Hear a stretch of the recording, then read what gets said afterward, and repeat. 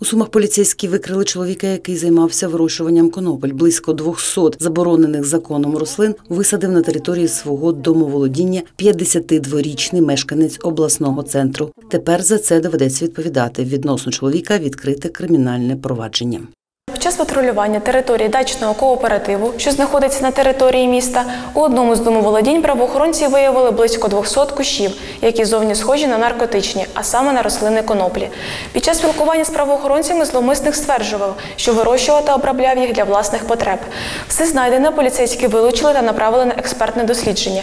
За даним фактом, слідчими Сумського районного управління поліції відкрито кримінальне провадження за частиною 2 статті 310 посів або вирощування снотворного маку чи конопель Кримінального кодексу України.